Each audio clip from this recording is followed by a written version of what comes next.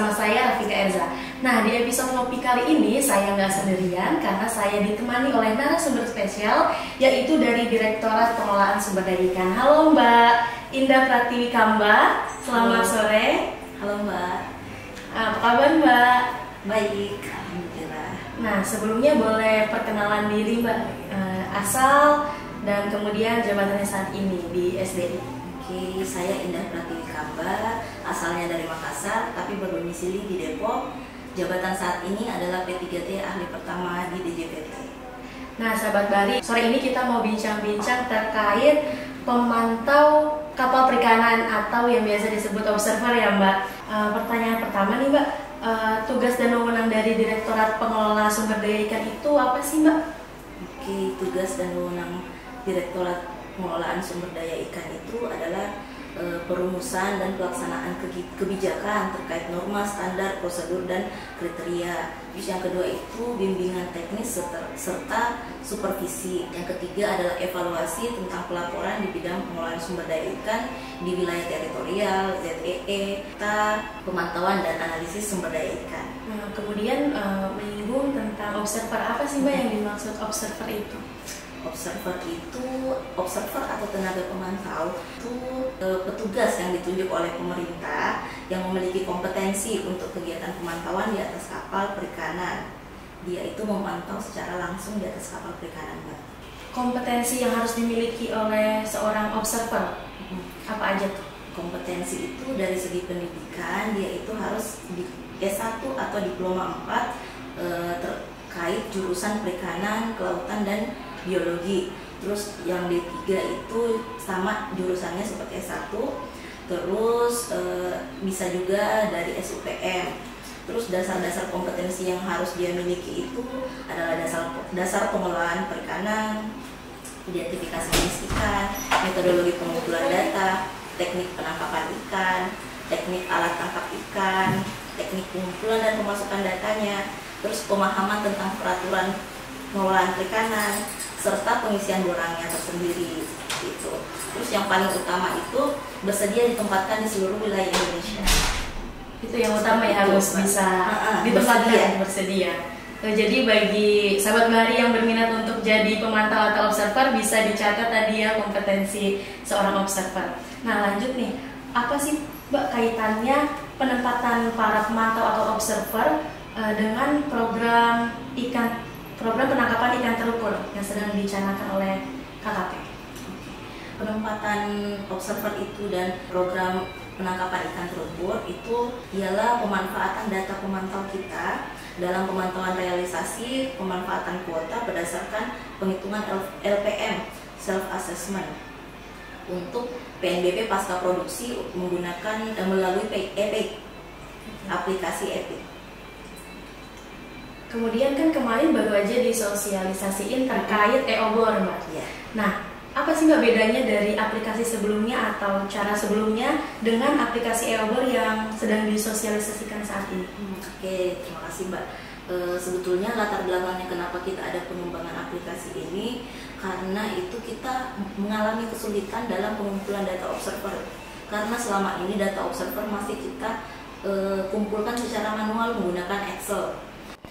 Terus untuk eh, memudahkan kita, kita lakukanlah pengembangan aplikasi obor mulai dari pengajuan pengajuan petugas pemantau dari pelaku usaha sampai dengan pengumpulan laporan oleh observer kita menggunakan aplikasi e-obor. Kemudian kan itu untuk pihak observernya ya. Mm-mm. Kalau untuk pelaku usahanya, eh, aplikasi ini tuh berguna untuk apa? Jadi pelaku usaha itu bisa memantau observernya eh, sudah di mana, memantau laporannya juga bisa. Terus observer dimudahkan dalam eh, melakukan pengajuan permohonan penempatan observer, Mbak. Yang dulunya mereka harus bersurat kepada kita, sekarang dia itu bisa mengajukan di mana saja, di rumah bisa dengan kemudahan itu melalui aplikasi e-obor secara online, Mbak. Kemudian kalau manfaat atau keuntungan bagi para pelaku usaha dengan penempatannya observer di kapal perikanan mereka tuh apa? Eh, itu bisa menjadi kepatuhan mereka dalam eh, compliant di RFMO Mbak. Itu salah satu uh, compliant di RFMO untuk mendapatkan kuota penangkapan ikan. Kendala selain upgrade aplikasi mm -hmm. yang sebelumnya kan menggunakan Excel. Mm -hmm. Ada nggak sih Mbak kendala lain yang ditemui observer di lapangan? Kemudian solusinya selain okay. yang tadi pengumpulan informasi data. Oke, okay, selama ini memang kita meng mengalami banyak kendala, Mbak. Yang pertama itu kapasitas dari petugas pemantau kita. Jadi setiap kita rutin setiap tahun ada upgrading untuk petugas pemantau kita, pengembangan kapasitas mereka seperti penanganan ikan di atas kapal itu kita adakan upgrading. Terus ada kualitas data dan analisis. Kualitas datanya itu salah satunya tadi solusinya pengembangan aplikasi obor.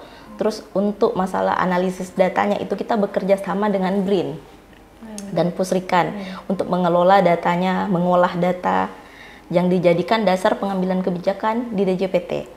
Terus yang ketiga itu efektivitas penempatannya. Di penempatan pelabuhannya itu kita melihat pelabuhan, kita mengadakan identifikasi sebelumnya, Mbak. E, kebutuhan pelabuhan itu yang besar di mana sih? Misal di benua membutuhkan observer yang banyak, di Kendari banyak permintaan observer, kita tempatkan lebih banyak di situ tenaga observer. Terus ke yang terakhir itu masalah pembiayaan. Masalah pembiayaan itu kita mungkin kalau dari APBN mungkin kurang ya Mbak. Jadi kita adakan kerjasama dengan asosiasi dan NGO yang mendukung di bidang pendataan. Seperti itu Mbak kendalanya.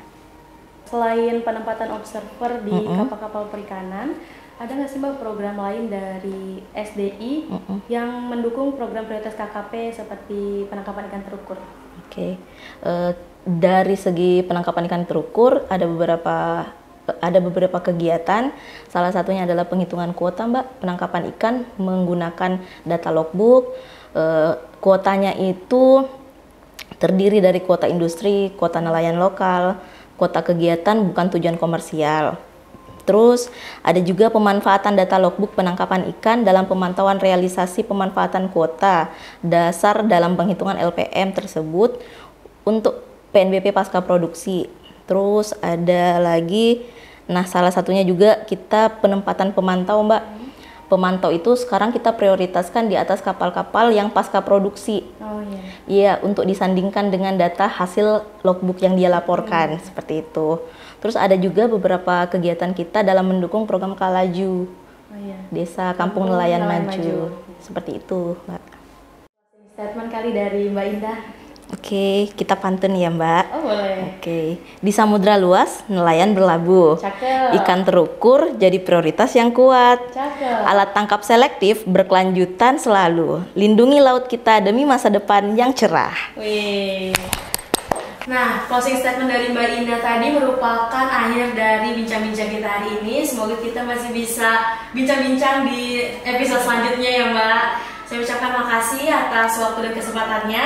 Makasih juga untuk sahabat Bari di rumah yang udah nonton episode ngopi kita kali ini. Sampai jumpa di episode ngopi selanjutnya. Jangan lupa pantau terus informasi seputar PPS Kendari hanya di channel YouTube Humas PPS Kendari. PPS Kendari luar, luar biasa, biasa sosok itu. itu.